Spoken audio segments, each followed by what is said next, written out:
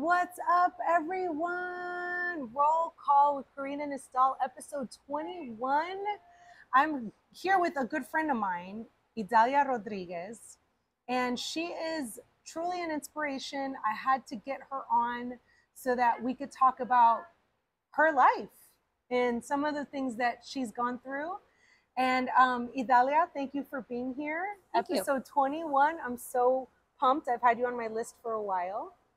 Forever interview. 21, right? Forever 21, yes. Um, so Idalia and I met at a job that we both had, and we were working on a project. And um, what happened was that we were on a campus that did not have, it was not up to code on ADA compliancy. And so I want to introduce my friend. I want her to tell you a little bit about herself. Where are you from? Where did you grow up? All right. So my family is originally from uh, Reynosa, Tamaulipas. I know that is a border town crossing with the United States that has become very difficult to navigate during the cartel. Um, so my parents moved uh, over here uh, when I was not even born. So I was born over here in Houston, Texas. I'm a Houston, Texas native. So my blood burns barbecue, beer, and good food. I like that. So um, that's my beginning for my story, and uh, I'm proud to be a Texan. Yes, that's awesome. And you have two sisters, right? I have two siblings that have helped me during my journey of um, ups and downs, going to college, uh, not having a wheelchair that was, uh, you know, a electronic or mo- Mm. mobilized wheelchairs. Wow. So they used to, uh, we used to go to Sam Houston, and Sam Houston has big, big mountains. yeah. And I still remember telling my sister, "You're gonna have really good legs after this," because uh, it was not very accessible. Yet we made it work. Aw, yeah, they there. There's a lot of hills out there. Yeah, she had a great legs then. Oh, I'm sure. But what a great sister. So shout out to your sister. Shout out to Brenda. Aw. And um, you know, I'm always amazed by your journey. We talk a lot. You tell me about some of the stuff that you've been through as someone that day in, day out, you're in a wheelchair and sometimes there's not accessibility. I mean, can, can you share with us some of the challenges that you face that other people have to face? Yeah, so I think uh, during, I guess, the journey of being in a chair, I think if we start changing the narrative, Yes. we could change the perspective for future people who are learning more about people with disabilities. Disabilities could not just be a chair; it could be anywhere. It Right. could be uh, neurodiversity. Yes. It could be anywhere with CP. It could be pretty much anything. But uh, I think a lot of times, if we start with the narrative, we could change the perspective of the person. That being, a lot of times I've learned or I've heard people saying, even good friends of mine that come with from a good heart, saying, "Oh, she or Idalia or Bernice cannot get in the building because she's in a chair." Mm, So, if you listen to that rhetoric, it's saying that the person, me, cannot come to the building because I am in a chair. So, at a time after time you hear this, you're like, am I really the problem or is this systemic system a problem? yes. And uh, when I hear more like some a statement saying like she cannot come in the building because it's not up to code or because it has no elevator, the blame is not on the person but on the property of the owner. right. So if we start changing those little rhetorics or those little problems, I think we could really move up to better understanding that we need to be more ADA compliant Yes. or universal design. Yes, yes, and and that was actually how we met and we became friends. I was a union representative, and she came over to my booth and she said, "You know, is this something that you guys could help me with? I'm on this campus, and there's no buttons, and there's no you know ramps here or there. Like I, I can't reach it. I can't get out. I can't get in." And I was just like, "How could this happen? This is a beautiful new campus." and how could it not be up to code and this is only one of so many discriminations that you faced. I admire your courage. Like I'm I'm a big fan of you. Like I I admire everything that you go through and that you are still so resilient. You are one of the most resilient people I know and I just like I'm always so inspired by you, but like tell us about some of the things that you've had to go through, some of those struggles and feel free to open up as much as you want. If if it's too if it's too hard, you don't have to, but just know that you're supported. I see her as a, a spokesperson. I always I tell her that. I tell her I see you going on tour, doing book signings, you know, like being an inspirational speaker to people that are also dealing with certain disabilities that, you know, there's things that you've surpassed situations that you could help them with, you know? But tell us tell us a little more about some of the stuff you went through. I know during COVID you had a, a really hard time um, at the hospital as well. Well, I have a condition called SMA, SMA type 2. It's spinal muscular atrophy. It's a neuromuscular disease that is genetically inherited. So I was like the lucky one of that situation. Uh, it's a rare genetic disease that affects my daily functions. So basically, I lose protein SMA, and that means that it's no longer being regenerated. Uh, so for me to be here, it's a blessing. Yes. First of all, uh, there was no medication for my condition in about six years. In 2016, it became available under the FDA phase 3 Mm-hmm. Uh, so it's relatively new. You could say that because it's still kind of in the works. There's still some other drugs that are in trial. But if I had to say my uh, biggest milestones as a person in a chair, I would say it would have to be uh, high school, Right. Harvey, Oh yeah. working conditions, Mm-hmm. and then daily living. Yes. So in high school, at the moment, we really didn't have what we have a 504 right now. Uh, we had an IDEA that was more of an action plan. Uh, my diagnostician at the moment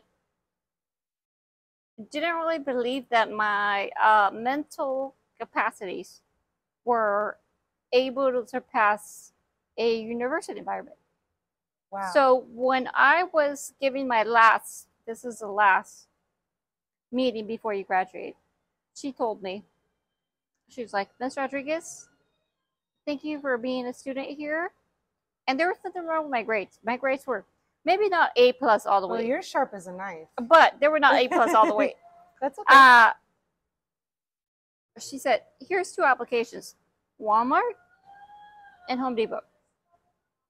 Wow. And I really did want to go to college. Of course. well, college was never offered as an option. So I took about a year off thinking that they were right. Oh my maybe thinking that I was not good enough, thinking that ah, maybe they know something that I don't know. So I started off in a community college, Wow. taking two classes.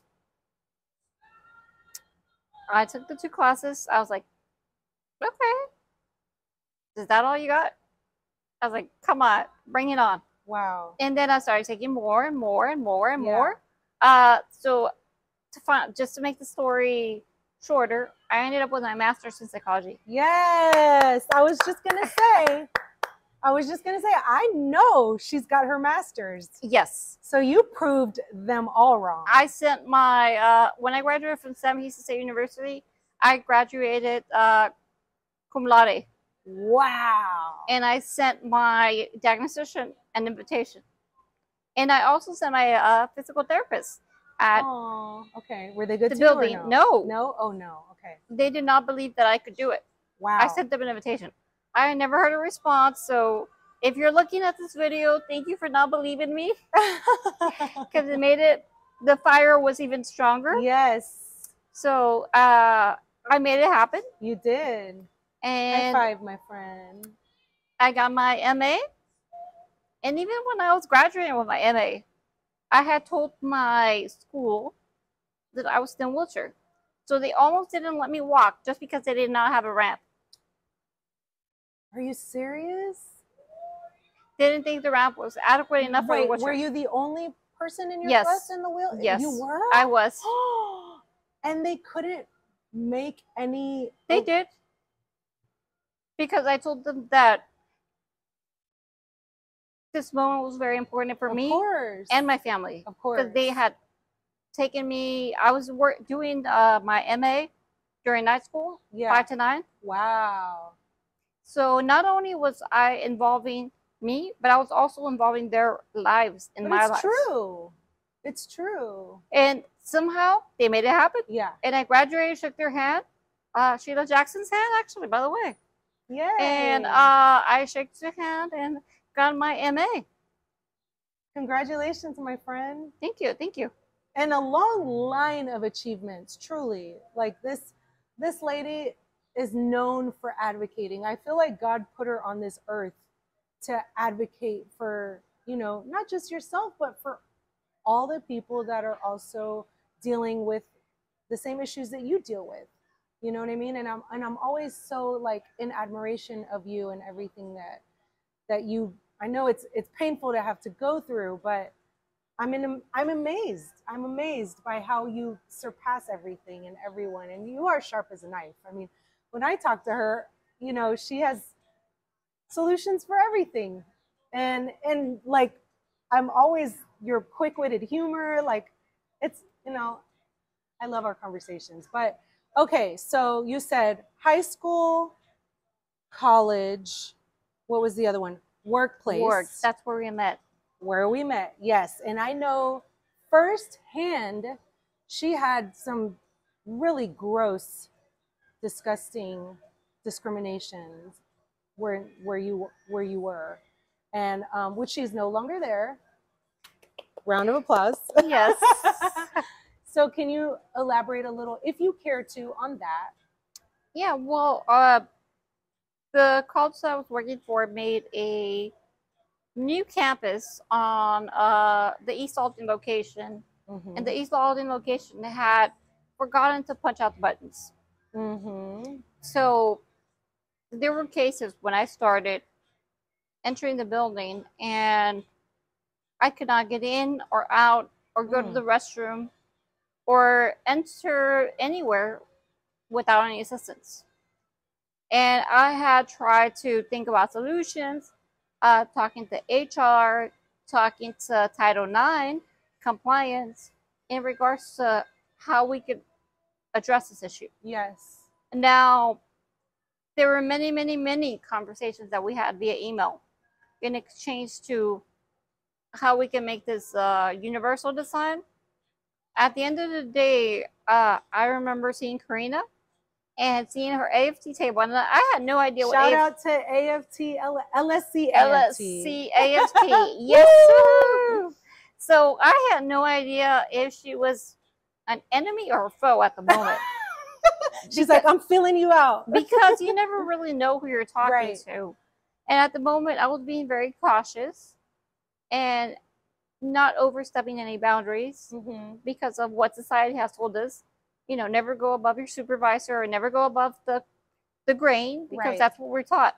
Mhm. So I remember I talking to this young lady that was beautifully dressed, and I was like, "Hi," I'm like, "My name is so and so," and she explained what AFT is, and I explained to her my situation, and she's like, "Give me a minute." So she gave me a minute. We communicated various times uh, with various emails on what we could do. Uh, after several conversations with uh, several members of the union and uh, the company that I was working for, Mhm. we came in agreement that the buttons have to be punched out. Damn right they and do. that was not really a me problem. Right. Because I remember the emails that I got said, Ms. Rodriguez is requesting this for her. Mm. Uh, that narrative still does not stick well on me because I don't think that was a me problem because I'm no longer there.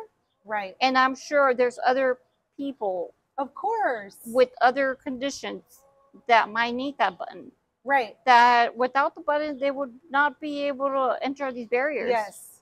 If it's not staff like you, it's going to be students. Yes. And that's an even bigger lawsuit, which is what we were trying to push as the union. We were saying, hey, you cannot keep delaying this because the longer you delay, the more the chances grow for a student to come. Because, of course, you know, staff, faculty, yes, we're not the priority Right. maybe at the moment, but Mhm. us students are a priority. yes. So looking back at it, just a perspective as a person, not as a staff or not as even just a community member in the community, I decided to pursue this in a bigger manner. yes. And this was with uh, Miss Karina's help. yes. No, That No, honestly, sh- I if not for for your courage to stand up, literally. I know it's a yeah, a stand-up comedian Yes. kind of thing. Yeah, yeah, I know no, not even stand up comedian, but No, I we can't stand up. So Right. yeah. but if it wasn't for you, I know it's a terrible term, but if it wasn't for you standing up for yourself, advocating for yourself because we're going to advocate. We just need the issues being brought to us. And that was there's some things that we could you know kind of debate with with like administration, but this was not debatable. This had to be done. It was not up to code and for a building to you know be able to be open to the public, open to students, open to people and not be up to code is against the law. That's just Yes, it hands is. down what it is, you know. It is. It's been Yeah. uh, the ADAs were brought up in 1991. Mhm. Uh, mean that it's 30 years and above. Yeah. We need something more like ADA 2.0.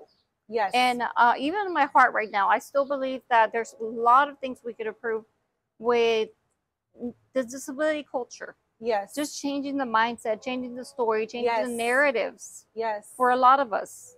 It's not about me. It's about all of us. everyone yes and and what are what are some of the things that you can suggest to us to be more conscious because this this particular podcast is about culture music and consciousness so you're bringing the consciousness to the table and i want to know like what is something that you can advise us or suggest to us to be more conscious towards the disabled and people that are in chairs Well, I think first of all, we're just like everybody else. yes Uh, we have a drink. right We like concerts. We like going Right. out.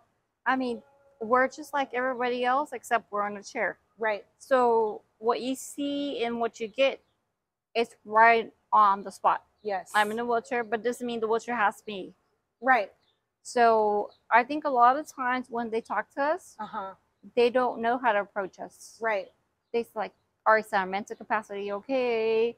Are we capable of holding a conversation? yes Are we capable of dating? Are we capable of even having All of the a above. smart conversation? So it's all of the above. Uh, it's just very simple. yes I, I think the beautiful thing is that children understand people with disabilities a lot more than humans. Mm. Because I see my niece adapting very quickly, Wow. very quickly to my chair. Wow. She will either raise her table Yes. or tell me to go down so I can talk to her. Or she's like, okay, like she'll make it work. Yes. And that's the thing. Yes. Adapting, adapting to us, talking to us, treating us like we are part of society. Yes. And so, you, so it's pretty much lack of exposure. Lack of exposure. And I think we're afraid of the unknown. Yeah. A lot of times we're like, well, I don't know about that. So I'm just going to skip it. Mm. So I mean, it's it's just even bringing awareness to making room. Like if if you see someone and you know they have a chair or they're disabled and it's you know clear evident that you see it. Just be conscious enough be aware enough to let them stand in front of you if you're at a concert or like you know different stuff like that you know like opening the door or if there's no ramp like you know and you see them struggling to get on the curb like stuff like that. I think that's Yeah, that's really just- important. Just ask. yeah just ask. So idalia i love this conversation. I'm so glad you were here. Tell us where we can find you and tell us if you have any shout outs Well, uh, you can find me either. Uh, my legal name is Idalia, Idalia Bernice Rodriguez, but Facebook Bernice Rodriguez. Uh, also, uh, Gmail Idalia B, Idalia.b Rodriguez okay Gmail. Okay. And Instagram, I really don't use it, but it's IR92283. okay. But I'll give Miss uh, Nistal the all my handles Yes. so she can figure that out. I'll put them at the end of the video. Thank you guys so much for tuning in. Shout outs? Shout outs to everybody. Kindness is free. Yes. Shout out to your family. I love your mom, your dad. Yes. Shout out to your family, um, the Rodriguez. And um, we love you guys. We'll see you next time. Peace. Peace.